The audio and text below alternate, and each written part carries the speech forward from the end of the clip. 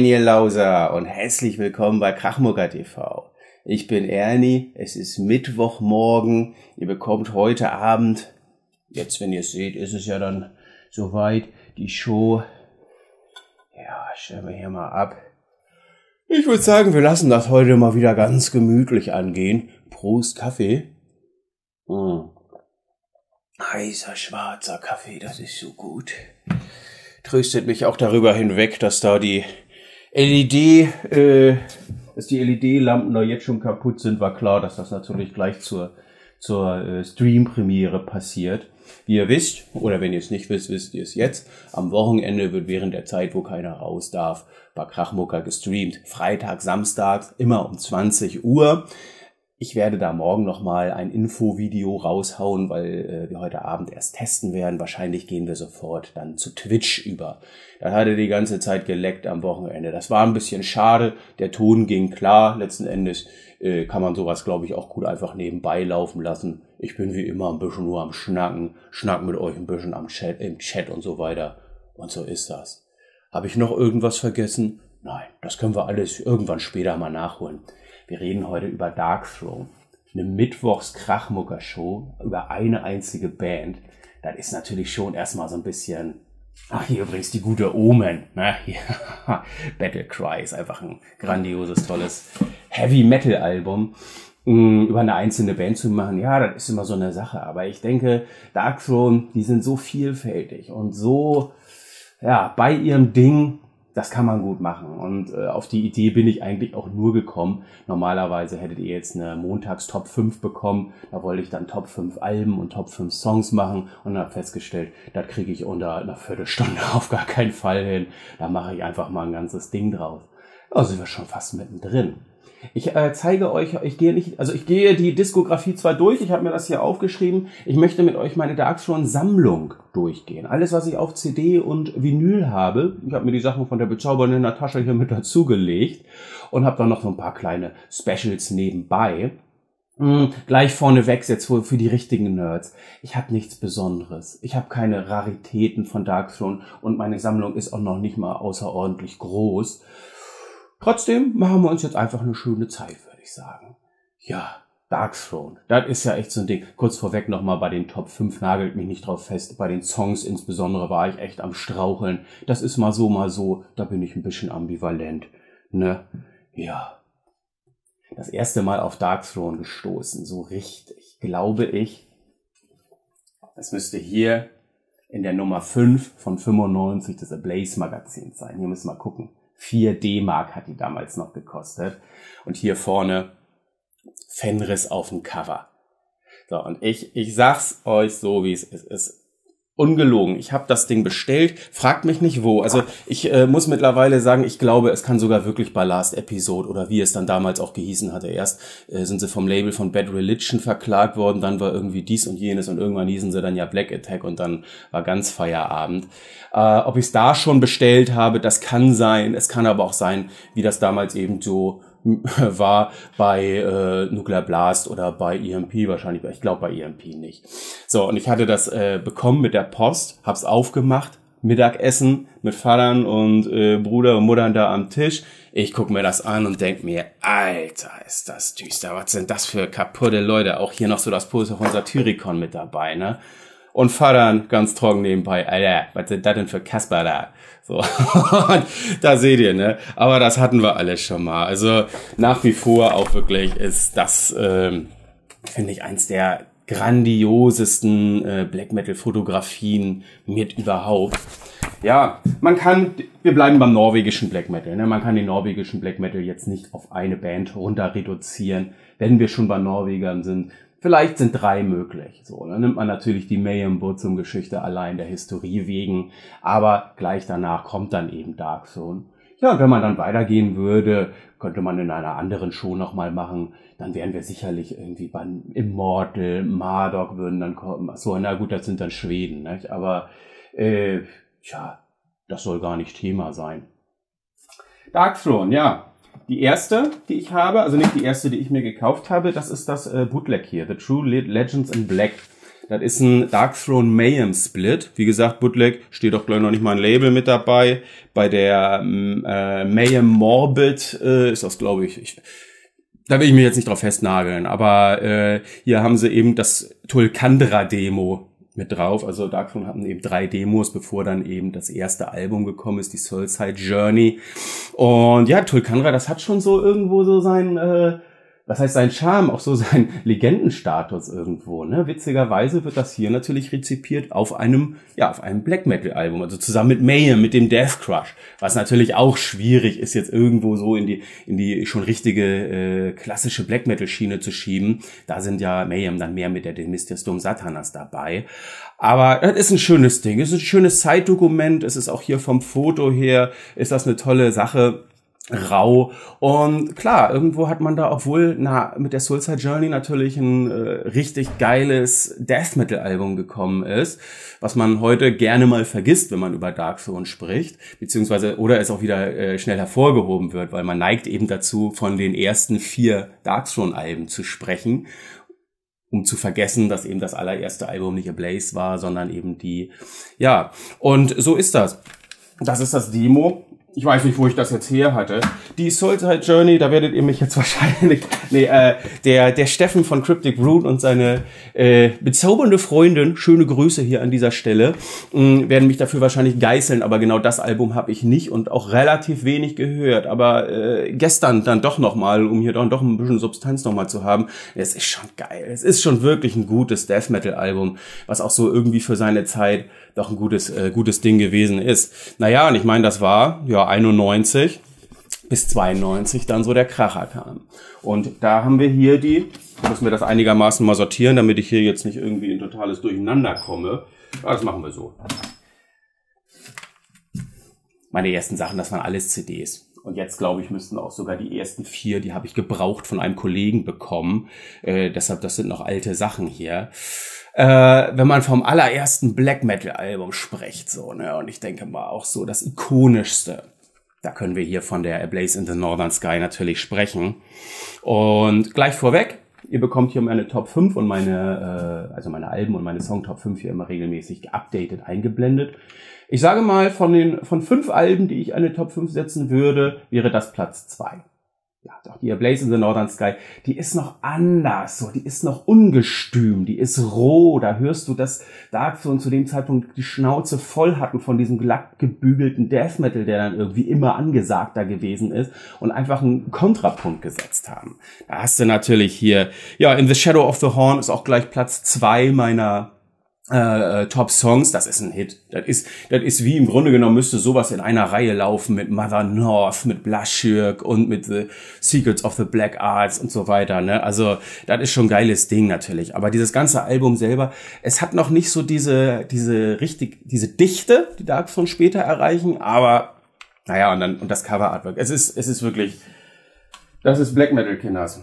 Ja und dann ging's weiter. Ich muss mir das mal so ein bisschen so legen. Vielleicht habe ich dann immer noch mal ein paar Fuß. Äh, dann haben wir die Under a Funeral Moon, genau 93 dann schon. Also ich glaube, es gibt zwei Alben, die, wenn man über Darkthrone spricht, äh, immer wechselweise von den Leuten als das Darkthrone-Alben hingestellt werden. Und entweder ist es natürlich die Under a Funeral Moon, hier auf Peacewell rausgekommen, oder äh, es ist dann der Nachfolger, die Transylvanian Hunger. Und das Ding hat natürlich echt, also das ist nochmal ein ganzer Sprung in Sachen Black Metal nach vorne. Das ist äh, ja, ihr müsst einfach mal irgendwas, also hier Natasja in Eternal Sleep zum Beispiel, so, das ist ja schon mal so ein, das ist ja auch so ein weiterer Hit aus der ganzen Sache. Hm, habe ich hier, das, ja, das ist übrigens Platz 5 bei mir. Das ist Platz 5 für meine, Wilma, was ist los? Wilma sitzt da nebenbei, die will gleich raus mit der bezaubernden Natascha und ein bisschen durch. Wilma, mach mal Platz. Ja. Wir bleiben hier alle ein bisschen gelassen am Mittwochmorgen. Und äh, ja, True Norwegian Black Metal hier. Das, äh, ja, ja, der und ich kenne das ja. Das ist also, das ist also, das ist in Sachen Atmosphäre. So ein Ding hört man auch am Stück. Deshalb habe ich hier auch, glaube ich, gar keinen einzelnen Song für mich so rausgegriffen in der Top 5. Sowas muss man am Stück hören. Als ich das erste Mal gehört habe, das ist eben auch so eine Sache. Äh, da äh, da war Dark Throne für mich ganz seltsam. Aber da muss man auch überlegen, wie man zum Black Metal gekommen ist. Und äh, um das ganz kurz zu machen, bei mir wurde es ja, ich sag mal, von Scorpions über Iron Maiden, über dann äh, Running Wild immer härter, bis ich dann bei Amorphis, bei Carcass, Morbid Angel war. Und dann meine allerersten Black Metal Songs, die ich gehört habe, das dürften To Eve the Art of Witchcraft von Cradle of Filth, von der Principle of Evil Made Flesh sein und von und Knight's Blood von Dissection von dem Dissection-Album. Ne? Das, also, äh, das ist natürlich, das waren so Sachen. Und ähm, dann bin ich auch in so eine ganz andere Richtung gegangen. Da waren für mich Sachen wie Raven Dusk in My Heart von Diabolical Masquerade. Ich habe von Marduk die Opus Nocturne gehört. Und natürlich dann meine drei äh, erst gekauften CDs Över Bergtat in the Nightside Eclipse von Emperor und Enslaved Frost. Und da hat man natürlich so eine Sache. Und dann hörst du dir so ein Album wie äh, Under a Funeral Moon. Das hat gedauert, bis das bei mir gezündet hat. Da mag es andere geben, die waren von Anfang an dabei, aber wenn, das kommt immer so auf den Weg an, wie ich auch äh, das habt ihr vielleicht, oder kriegt ihr ja so ein bisschen so mit mittlerweile, äh, wie sich da so meine Hörgewohnheiten immer mal entwickeln anhand der Shows, seht ihr das ja auch. Und da sind dann solche Sachen wie, ja, die bezauberte der Tasche hat die Wilma mal rausgeholt. Ähm, da sind dann äh, solche Sachen dabei, dass ich jetzt zum Beispiel gerade festbilde, ich immer mehr auf so eine Noise-Geschichten, dass ich jetzt erst dazu komme, so Raw Metal äh, gerne zu hören, Kabbalah oder dann eben auch Mersbo, dann im, Kontra im Kontrastprogramm Bohren und der Club of Gore. Ja, und äh, das ist, das ist, das ist spannend, finde ich, äh, über solche Sachen zu sprechen. Das ist spannend, sowas zu beobachten, auch an sich selber, wie sich das immer so blockweise verändert. Dann gibt's wieder Phasen, da höre ich dann weniger Black Metal. Dann gibt's Phasen, ja, und und so wie das immer ist. Ne? Und dann kam das böse Album von Dark Throne. Da hat sich dann einiges verändert für die äh, beiden, die ja letzten Endes dann Ted und äh, Gylve, also Nocturno Culto und Fenris, die Transylvanian Hunger. Wie gesagt, neben der Under Funeral Moon vermutlich führt den Großteil äh, der äh, Black Metal affinen Gestalten äh, die beiden wichtigen Alben, ne? also der ersten vier Black Metal Alben von von Dark Throne. Nee, da brauche ich ja gar nicht so machen, das stimmt in dem Fall ja. Ne? Transylvanian Hunger, wahrscheinlich der meist gecoverte Song von mm, von von Dark Throne. Es ist gar nicht so mein Album, muss ich sagen. Die Under Funeral Moon natürlich schon, aber die hier, ja, geht so. Also äh, richtig sagen kann ich das jetzt auch gar nicht, woran es liegt, weil äh, dann hört man es dann doch mal durch und dann stellt man fest, das werden hier bei einigen anderen Alben dann auch noch kommen. Aber hier, da haben wir es natürlich. Ne? Das, äh, was äh, Dark Throne praktisch den Label-Rauswurf beschert hat, äh, was ein jahrelanges äh, Chaos der Band beschert hatte und dann eben auch den Gang zu Moonfog. Zu Moonfog, dem Label von Satyr von Satyricon. Ja, haben wir hier. Denn dann kommt es ich denke, das ist, äh, das ist mein Platz eins äh, der Alben. Da sind auch meine beiden Platz eins Songs bei. Ich konnte mich dort nicht entscheiden. Ihr wisst, über welches Album ich spreche. Na gut, äh, jetzt von der Reihenfolge her ist es sowieso klar, ne? Aber das ist, äh, das ist das Panzerfaust-Album. Also das hat, ich glaube auch, das war das erste Darkthrone-Album, was bei mir so richtig gezündet hat. Das Ding ist einfach krasser Wahnsinn. Das ist eine Atmosphäre. Ich muss auch dazu sagen, also äh, da gehe ich natürlich nicht ins Detail. Da trinke ich lieber erstmal einen Schluck Kaffee. Mm. Wie ich schon sagte im Stream, das schwarze Heroin für Morgenmuffel. Mm. Quintessenz und Entwind auf Sorg. Das sind zwei Songs, die da ich immer noch Gänsehaut. Und die Zeit damals, auch als ich das gehört habe, die war für mich finster, da passte das Album zu. Es ist Celtic Frost lastig, definitiv, ganz klar. Und äh, es ist auch in der äh, bisherigen und nachfolgenden Diskografie, steht es irgendwo auch für sich selber. Mm, wir haben jetzt natürlich damals die Situation gehabt mit Transylvanian Hunger und dann der Gang zu Moonfog. Äh, und so kommt man dann hier Unholy Black Metal mittlerweile und The Most Hated Band in the World hier. Das äh, betone ich deshalb. Ich möchte da gleich noch mal was zeigen. Mm, jetzt muss ich hier nämlich einmal was schauen, ob das hier drinne ist. Äh, nein, es ist hier jetzt nicht. Äh, ich bin jetzt gerade ein bisschen am Haken. Irgendwo ist noch äh, Spruch drin, hier mit Can Lick Mother Mary's Asshole in Eternity. Äh, hier so, äh, Darkthrone ist halt keine politische Band. Ach so, Darkthrone is certainly not a Nazi band or a political band. Those of you who still might think so, you can lick Mother Mary's Asshole in Eternity. Es ist tatsächlich Panzerfaust, natürlich logisch, äh, dass das nach der Transylvanian Hunger dann kommt. So, und das ist jetzt ganz interessant. Ich habe hier die äh, Back on Black Vinyl Edition auch noch vom Album. Und wenn wir uns das Ganze dann mal im Detail angucken, werden wir feststellen, dass sie das, äh, ja gut, The Most Hated äh, Band in the World ist noch drauf. Ne? Äh, Layout nur einigermaßen verändert. Aber wenn ich es jetzt nicht komplett übersehen habe, nein, das ist sowieso nur ein Einleger. Äh, ich weiß jetzt nicht, also die Back on Black Sachen glänzen jetzt auch nicht unbedingt durch Liebhaberei. Kann das sein? Äh, könnt ihr mir vielleicht auch noch mal sagen, so so die an die Nerds die Frage. Ich finde die soundtechnisch auch ein bisschen platt. Kann das sein? So, also ich weiß nicht, es gibt ja auch mehrere Auflagen. Mittlerweile sind sie auch wieder bei Peacewell. Hier äh, Moonfog äh, und so weiter. Ja, Darks schon. Ich leg die einfach mal hier vorne in die Ablage rein. Und dann gab es damals zwei Bands mindestens zwei Bands um die Zeit, um 96, 97. Warte, kann ich vielleicht genauer sagen. Äh, ich wollte jetzt gerade noch nicht. Na gut, geht bis in die 2000er dann rein, die als die besten Darkthrone Coverbands gesehen worden sind. Bands, wo man gesagt hat, also äh, äh, die atmen genau das, was an Darkthrone am wichtigsten gewesen ist in der Anfangszeit. Na gut, man kann Darkthrone halt so gut in verschiedene Episoden einteilen. Ne? Demo-Zeit, dann Soulside Journey, dann die ersten vier und zu den weiteren kommen wir ja gleich. Lange Rede, kurzer Sinn, das ist Graven of Misanthropic Spirit. Das war so das Demo damals. Ne? Äh, diese Version hier habe ich nie im Ganzen hören können.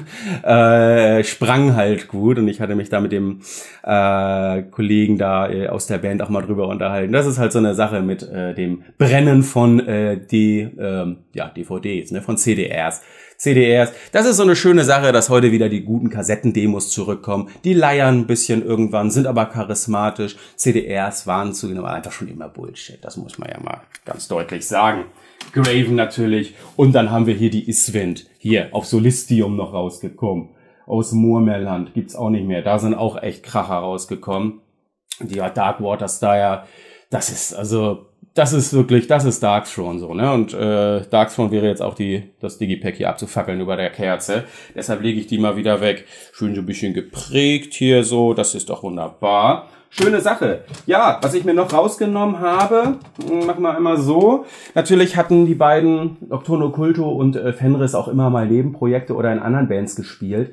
Ich habe, glaube ich, noch das ein oder andere, aber als ich mal so meine CDs durchgegangen bin, ihr wisst und wundert euch vielleicht, der ein oder andere hier, Ernie, immer Vinyl und bla, was soll das hier mit den CDs?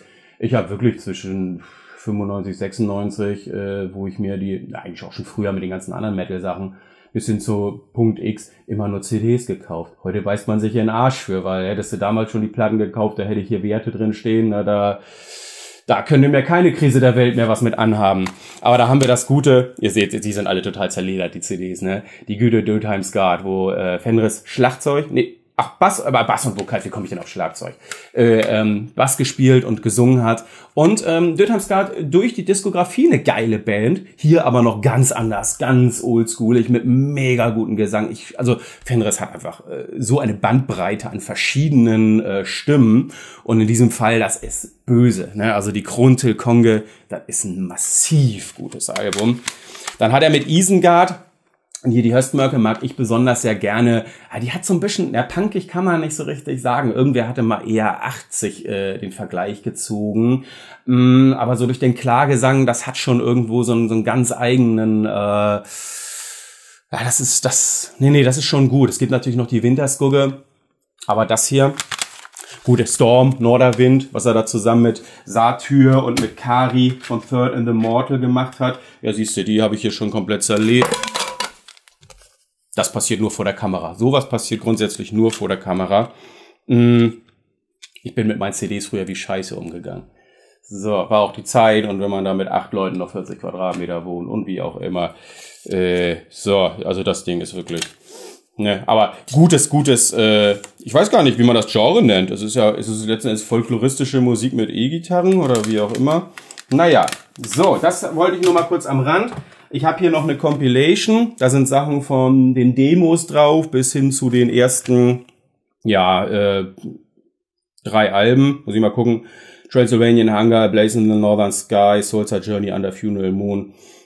A New Dimension, also Demo, Tulkandra. Ja, ist die Frage, ob man sowas braucht. Ich weiß jetzt auch gar nicht, woher ich die genau habe. Ich stehe nicht so auf Compilations. Das ist so, ich kaufe mir dann doch immer die, äh, die ganzen Alben. Natürlich für einen Überblick. Wenn du keine Ahnung von Darkthrone hast, dann ist das sicherlich eine wunderbare Sache, um jemanden ranzuführen. Jetzt kommen wir zu einem ganz interessanten Album. Nein, jetzt, äh, jetzt kommen wir erstmal zu einer langen Zeit der Stille hier. Goat Lord hätte eigentlich nach der Soulside Journey erscheinen sollen, ist ein schon eher Death Metal Album noch, ne? Äh, 96 rausgekommen. Äh, Total Death, Ravishing Grimness, Preparing for Wars noch eine Compilation. Sind alles Alben, ja, da habe ich da schon aus den Augen verloren. Entweder ich habe ganz andere Sachen gehört, äh, mich haben die Sachen auch nicht so wirklich äh, beeindruckt. Da könnt ihr ja einfach mal raushauen bei den Sachen, wo ich jetzt sage, dass ich die jetzt einfach nicht habe oder hier äh, komplett äh, rüberfallen lasse. Wo sind die Schätze? wo sind so unter diesen Alben so die Songs, wo man sagt, ja komm, das solltest du jetzt aber schon mal gehört haben. Das solltet ihr mir doch einfach mal sagen. So, damit ich jetzt hier nichts raus habe. Genau, wir hatten schon meinen Platz 1 Panzerfaust unter den Alben. 2 ist A Blaze in the Northern Sky. Äh, da, da, da. Und 5 ist Under a Funeral Moon. Unter den Songs haben wir genau Quintessenz oder In Wind auf Sorg. Ich kann mich nicht einigen auf 1. In the Shadow of the Horns ist für mich ganz klar Platz 2. Und dann haben wir's. So, jetzt kommen wir zum ganz interessanten Ding hier. Und zwar der Plecubil da. Die ist deshalb hier so ein bisschen, äh, ja, weil ich mal einen äh, Wasserrohrbruch in der Bude hatte. Und wenn du die CDs halt alle auf dem Boden stapelst, dann sieht das dann scheiße aus. Das war richtig ätzend. Da ist mir einiges auch über den Jordan gegangen. Und äh, mit diesem Album kam Bruch. Also ich glaube jetzt nicht, dass ich da jetzt falsch liege. Es ist das erste Album mit einem farbigen Cover. Und ich habe mir da so ein bisschen mal äh, Gedanken gemacht und das ist jetzt alles ein bisschen vage. Das, äh, das ist nicht so, das ist ein bisschen vielleicht auch an den Haaren herbeigezogen, aber ihr müsst mal überlegen. 1900, also dieses Album hier kam, äh, Plague Wilder, äh, das ist, äh, oder Wilder, habe ich jetzt auch nicht nachgeguckt. 2001, genau, kam 2001 raus.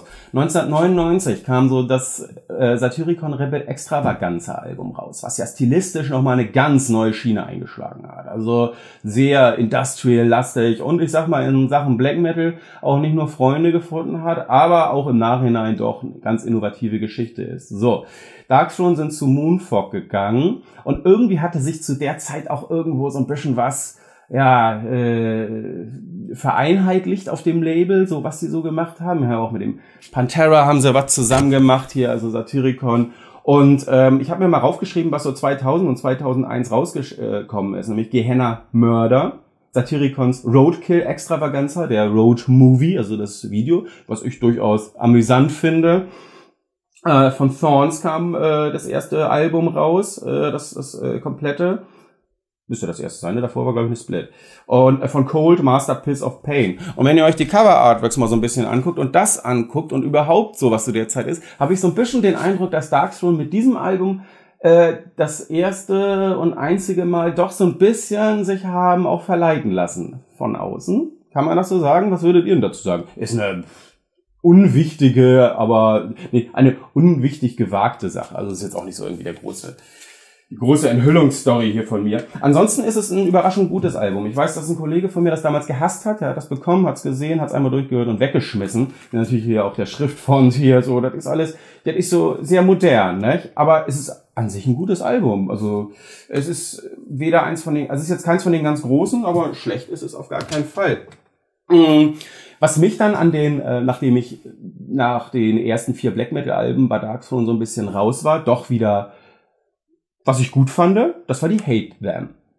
Und die Hate Them, die ist wirklich düster, die hat wieder richtig gute Riffs. Und wegen diesen Riffs hat ein Song hier auch in meine Top 5 geschafft, nämlich Divided We Stand. Das ist mein, ah, genau, morgens früh. Ich würde mal sagen, Zeit für einen Schluck Kaffee.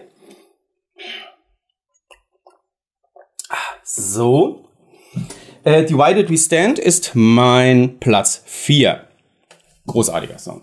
Also dieses ding ding ding ding ding ding ding ding ding ding ding ding und dann dieses gerade der letzte Ton ist einfach auch noch so schön Ist das, ist das Moll? Ist das äh, oder dissonant? Oder ach ja, es wäre so schön, wenn vor der Kamera jemand steht, der so richtig Ahnung von Musik hätte, dann hätte das Ganze hier so tolle Substanz. Nein, gutes Ding. So. Und dann ist was passiert bei Darkthrone. Also äh, Fenris hat angefangen, nur noch äh, Platten zu kaufen, wo die äh, Protagonisten große Sonnenbrillen und keine Emperor äh, modernen äh, Matrix-Brillen auf hatten und haben ein Album rausgebracht, was so grandios wie es ist einfach The Cult is Alive. Meine Fresse ist das ein starkes. Ist das überhaupt Black Metal? Keine Ahnung. Too Old, Too Cold ist, also The Cult is Alive ist äh, Platz drei meiner Alben und Too Old, Too Cold ist Platz drei meiner Songs. Ich weiß nicht, warum das hier immer übereinstimmt. Das war unabhängig voneinander. Aber scheiße sind da Rocker drauf. Also äh, Atomic Coming, Graveyard Slut, ne? Also ich kann, ich kann ja einfach alle Whiskey Funeral, das sind alles, das ist ein Hit-Album, das ist Punk Black Metal. Das ist schwarzer schwärzester Punk. So, das ist also wirklich richtig. Das ist nicht diese Sache, wovon ich, wenn ich über Deutschpunk rede. Deutschpunk ist noch mal was anderes und insbesondere die Bands, die ich dann nenne, haben ja immer noch eine bestimmte äh, Färbung äh, vom vom Sound und von den Inhalten. Aber äh, Punk ist ja nicht nur das. Da gibt's ja auch noch weltweit verschiedene Dinge. So, jetzt äh, überdecke ich mal die Ungfell hier. Übrigens auch ein tolles Album aus der Schweiz, falls ihr das noch nicht kennt. Mm, dann kommt die Trilogie na, also äh, alle vom gleichen Maler mit hier, äh, ja, wie, äh, wie Eddie, nur die Dark Throne Version hier. Da haben wir Fuck Off and Die. Da haben wir Dark Thrones and Black Flags. Muss ich mal gucken. Hier natürlich schön das Detail mit dem Nocturnal Patch. Ist das sogar das Album? Muss ich mal kurz gucken. Äh, die Hiking äh, Metal Punks. Äh, William Heiger äh, sind. Das müsste, glaube ich, auch die äh, Wohnort, der Wohnort von Nocturnal sein, wenn ich mich da jetzt nicht ganz vertue. Also so viel ich weiß, haben die sich einfach mal getroffen. Hanging Out in Haiger, genau, das ist ja auch das Album. So, und diese Alben sind, die kann man, also das ist im Grunde genommen ein Ding, das kannst du alles am Stück hören, das ist großartig. Und besonders herausgreifen möchte ich hier Circle the Wagons. Und äh, Circle the Wagon ist äh, mein Platz vier von den Alben und im Grunde genommen auch, oder habe ich den, nee, ach was, den habe ich gar nicht raufgenommen. Das ist gar nicht, das ist, also ja gut, da habe ich das Album halt genommen, aber der Song ist halt einfach grandios. Also alter Schwede, das ist richtig, richtig gut. So, jetzt habe ich hier Platten. Ach, ich, ich stelle die einfach jetzt hier nach vorne. Dann geht das hier auch nicht so durcheinander mit den Platten und mir fällt nichts runter. Hab ich hier was ausgelassen? Ähm, Hate the Sardonic Wrath habe ich natürlich äh, ausgelassen, aber die kenne ich auch kaum. Habe ich nicht und äh, so ist das, ne? Aber jetzt dürften wir hier, ja, jetzt sind wir vollständig. Das ist The Underground Resistance und das ist das Lieblings-Darkthrone-Album der bezaubernden Natascha. Es ist ein richtig geiles Album, aber auch ein Album, wo ich von den letzten Sachen von Darkthrone häufig gehört habe das den Leuten überhaupt nicht gefällt. Falsettgesang, irre Songs und ich weiß gar nicht. Also äh, Leave No Cross Unturned ist mein Platz 5 Song und äh, das ist äh, einfach auch von der Rhythmik. Ihr müsst euch einfach mal diese Rhythmik und Leave, Leave, Leave No, ich kann das so, ja, kein Rhythmusgefühl, ne, das ist ja Maria Punk. Uh, Leave No Cross Unturned ist mega gut, aber auch Valkyrie ist großartig, dieser Valkyrie, du kannst das nur, du kannst sowas nur nachsingen, wenn du so da stehst, ne, das siehst du ja auch bei Fenris, Fenris, der totale, Fenris ist vollkommen drüber und, ähm, Nocturno Culto, der ist einfach locker wie immer, ne. Nocturno Culto, der ist die, die Ruhe selbst, so, das ist ja, der Gelassene. Der haut dann halt einfach mal so äh, 13 von 10 Punkten Riffs raus, aber äh, das ist äh, der, der, der ist bei sich. Ne? Nein, das ist ein tolles Album, muss man sagen. Ein Album, was die bezaubernde Natascha sich geholt hatte, ich bis jetzt noch nicht so die Zeit hatte, mal wirklich viel durchzuhören. Das ist die Arctic Thunder. Aber äh, lief dann doch letzte Woche in der äh, Vorbereitung nochmal durch zur Erinnerung und gut. Nein, ist ein gutes Album. Also, sie sind jetzt wieder ein bisschen weg von diesem Punkigen und wo Fenris halt erzählt, dass er nur noch im Garten sitzt und Schnecken sammelt, dass, äh, dass er eigentlich nur noch Platten sammelt. Ich glaube, mittlerweile hat er aufgehört, so exzessiv Platten zu sammeln, weil er sagt, er kann das sowieso alles nicht mehr hören, was er da jetzt alles so zusammengesammelt hat. Mm, aber das ist ein gutes Black Metal Album. Und natürlich ist äh, das, das, das ist mir jetzt wirklich, als ich das alles nochmal konzentriert im Sinne von, ich mache eine Show drüber durchgehört habe, es ist wirklich erstaunlich, wie unglaublich äh, gute Riffs, also nicht erstaunlich gute, doch man muss mal auf die Riffs achten von Darkthrone. Die sind so stark, da sind so gute Sachen dabei, was dann auch Darkthrone von vielen anderen Black Metal Bands, die so klingen möchten wie Darkthrone, unterscheidet. Na, also äh, du kannst natürlich, ich kann auch Transylvanian Hunger irgendwie auf der E-Gitarre spielen so. Klingt halt aber auch wie Knüppel aus dem Sack. Und äh, das, äh, da gehört schon was dazu. Da kann man natürlich auch noch drüber sprechen. So, das sind dann, äh, das ist nicht so ganz musikwissenschaftlich, aber inwieweit man da so eine gewisse Geisteshaltung hat oder äh, inwieweit man dann einen gewissen Sound auch näher kommt oder ob man als sehr guter Musiker so ein Album wie ja Under Funeral Moon auch komplett kopieren könnte und selber, ich sag mal, äh, vom ihr wisst, was ich mit der Geisteshaltung meine, ne? so gar nichts am Hut hat. Aber das ist so, das sind eigentlich, äh, sind das äh, irrsinnig blödsinnige ähm, Gedankenspielereien, weil solche Fragen stellen sich ja auch gar nicht. Und äh, meine Erfahrung ist, und äh, das habe ich durch mich selber auch bestätigt gesehen, es ist schon enorm wichtig, wie es einem selber geht, äh, gerade wenn man Musik schreibt mit der man auch was rüberbringen möchte. Ne? Und äh, wenn es einem gerade auch so ganz gut geht und ich sag mal, man einfach Spaß hat, im Garten viel zu machen und das Leben einfach ein bisschen läuft, dann äh, nimmt man kein radikales, böses Black Metal-Album auf, wo man den ganzen Hass auf die Gesellschaft rauslassen kann. So, also, so ist das. Wir kommen zum letzten. Sie, sind, sie arbeiten wohl wieder an einem neuen. Old Star. Ich sag's ganz ehrlich, ach, das ist mittlerweile auch so eine Phrase, ne? ich sag's ganz ehrlich und bla, natürlich sage ich das ehrlich, was soll ich sonst sagen, wir lügen. Ich dachte, das wäre eins der geilsten Darkthrone-Alben seit langer, langer Zeit muss aber gestehen, dass ich das Album zwar, äh, ich habe es gekauft, dann auch ein paar Mal gehört, fand es auch richtig geil, danach aber auch unangerührt gelassen habe. Da sind gute Sachen dabei. Ich glaube, The Hardship of the, äh, the Hardship of the Scots ist gut. Und äh, grundsätzlich hast du hier wieder auch bei dem einen oder anderen Song ein wahnsinnig starkes Riffing.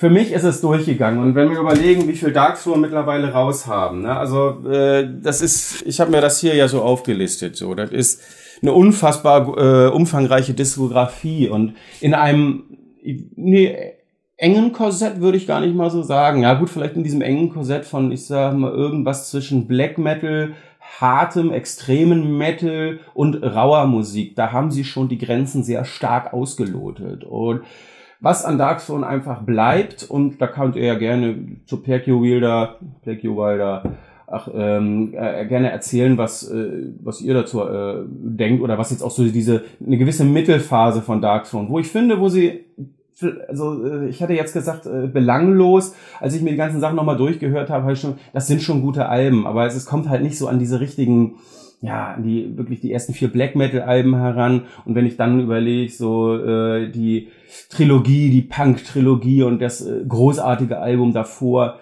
da war dazwischen schon irgendwo ging so ein bisschen so rein, ne? Aber sagt doch mal eure Meinung dazu. Kinders, Freitag, Samstag, Stream, 20 Uhr, entweder YouTube oder Twitch. Ich weiß es noch nicht ganz genau. Wir werden das jetzt heute testen.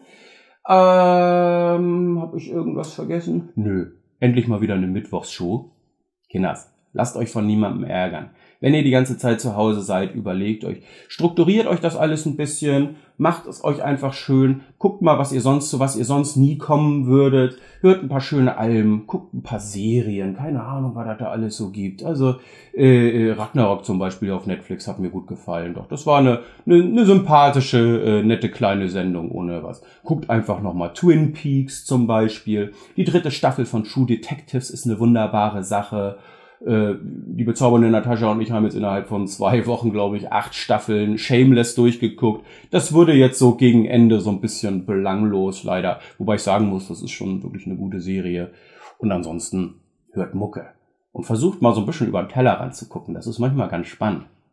Macht's gut, Kenner.